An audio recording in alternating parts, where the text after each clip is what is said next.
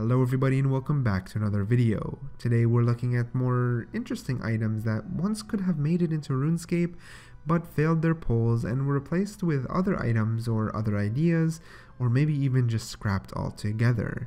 Crazily enough, all of these items or ideas were actually pretty much fully developed and ready but fell through at the last moment thanks to the voice of the community. First up we have Wildy Tag.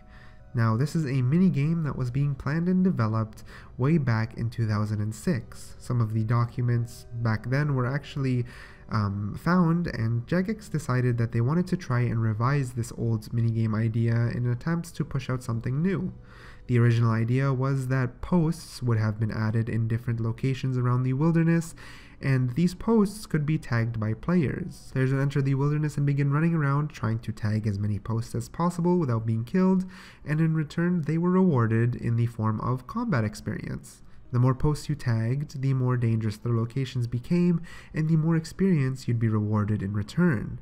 Originally, the documents apparently had a map of the wilderness and where the posts would have been located, each of which ranked from a level 1 to 3 depending on its risk level. Now, as cool as posts and levels were, there was actually a second iteration, and the idea of this was to create a reward system that would actually ramp up on the risks that you take, and would have been done by actually implementing a token system. The idea is if you tagged one post, you would get one token. You could then escape the wilderness and redeem this token for a prize. Pretty straightforward. Or you could risk it all and try to tag another post, meaning you'd have two tokens. The more tokens you obtained, the higher the reward would be. The biggest thing and the most intense is that tokens would actually be dropped upon death, meaning that PKers could hunt other players and try to collect tokens that way. Like we just mentioned, the first iteration was the combat XP. However, the token system was simply more interesting and because of this, they began developing it. Tokens would be redeemed for coins or other materials. This would make PKers have something to really look forward to and would increase the excitement altogether. As Jagex put it themselves, imagine having to decide whether to hand in your tokens for 500,000 or would you risk it all while it's going for one more post to double it and get 1 million? Then they thought about how they could give some variety to the players while they played the game. They thought about having the posts actually move around, just ever so slightly within a reasonable area, but just enough to make it so making an efficient system would be very hard and the intensity and risk would remain high, and it would also prevent PKers from camping specific posts continuously, which is quite an important thing to avoid. The goal was to offer something quick to learn, but required a lot of skill and strategy to master you need to outsmart the PKers and tag your way to victory through the intensity of the game. I personally think that it kind of sounds fun and exciting in my own opinion, and I just want to know what you guys think about it. Should Jagex add this to old school RuneScape in some sort of way? Should they continue developing it?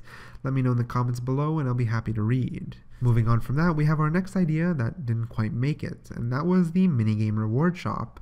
This was actually a very good idea in practice and passed the poll test. The only reason we don't see it in the game today is because the actual rewards within the shop failed. Let's go over this just a little. So the point was to give incentive to the players who wanted to play minigames.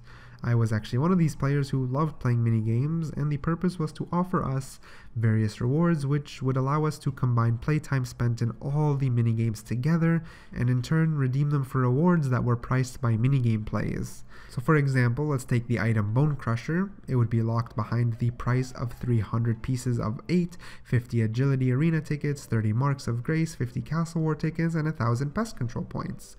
Once I got all those, I would be able to go ahead and get the Bone Crusher. The idea itself is actually great and would really breathe life back into minigames, which is an exciting thing to be honest. The problem was that the items in general that they wanted to offer really fell through. Ironically, however, almost all the rewards that did fail the polls did make it um, into the game somehow in different ways or different areas. But even with that said, let's go over them quickly so you guys have an idea of what they wanted to offer. First up, there was the Bone Crusher, which was actually later added as a reward for the Morytania Diary. There was also the Rune Pouch, which was later added to the Bounty Hunter reward shop. Apparently, there was also a book which teaches you the rigor and augury prayers, but it was later added to the drop tables of raids. And finally, clue scrolls, which would be rewarded at all three levels. and we know how we can get those. Kind of goes to show how, in the really early days of OSRS, people were super afraid of approving new updates, and the community at the time really was super hesitant on voting for power creep, especially.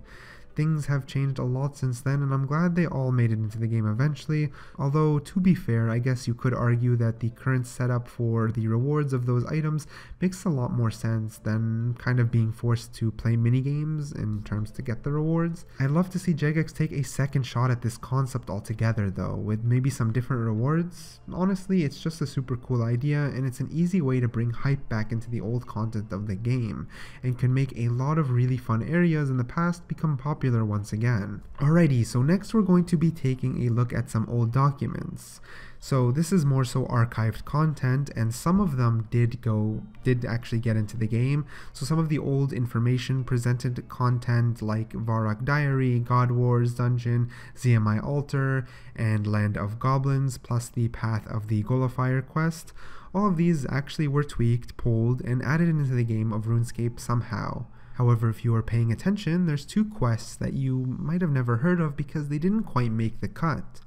This was the Land of Goblins and the Path of Glouphrie. These quests were actually sequels to another slice of HAM, HAM, in the eyes of the Glouphrie. These were confirmed in an existing archive, but until today haven't actually been released. Now both of these quests actually do exist in RuneScape 3, Mod Ash mentioned these on Twitter, and players did reply wanting the two to be mixed together in an attempt to end both cliffhangers. But apparently, it would be against the lore that was revealed through RS3 in the Chosen Commander. Regardless, it's definitely something interesting to look at, and I wonder if they'll ever make it into the game, maybe in a tweaked or different way, but only time will tell at this point. Next up we have the Storm Atronach boss, and this was a part of one of the winning player designs back in October of 2013. There's a lot to read about it, so I'll leave a link in the description down below, but for now, let's try to summarize it the best I can. Essentially, the boss would be an enlarged version of Slagilith, and it would attack with a magic attack capable of hitting 42, and would use the animations of one of the blitz spells from the ancient magic. It also have a secondary attack, which would have been more than likely a ranged attack hitting maybe 35 or so. More interesting, at about 66% health, it would spawn uh, defenders, four of them, using the model of the golem from the quest in the desert. The four golems attack with one ranging, one using melee, one maging, and finally one healing the boss himself. The biggest twist is that you can only damage these little defenders by using a pickaxe. We actually have some rewards listed here. Now I'm not too sure what to make out of them myself, but I'll read them out to you guys and you decide. There would be the Sea Dragon Pickaxe. This would be a recolored pickaxe with enhanced mining capabilities, and it would be a very rare drop. There's also the Ranging Necklace, which would be a ever so slightly better than the Fury to retain its value, but it would be a rare drop in general.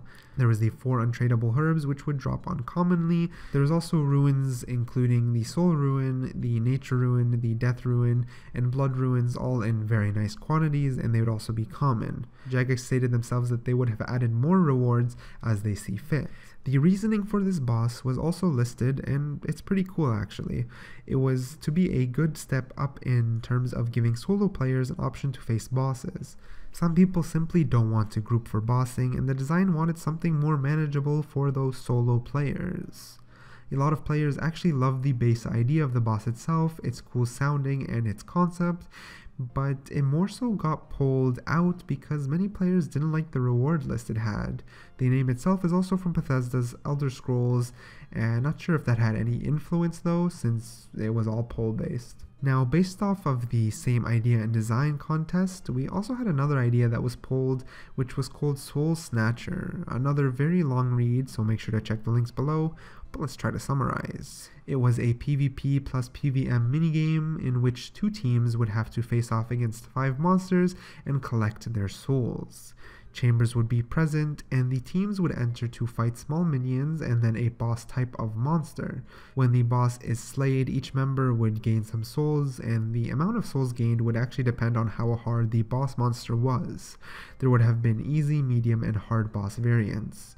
The reward souls would then in turn be used to purchase weapons while in the minigame or be deposited to increase your team's score. The team with the highest score would of course win, and the game could last a maximum of 20 minutes. The soul scoreboard would reward you with 25 souls for the easy boss kill, 50 for the medium boss, and 100 for the hard boss.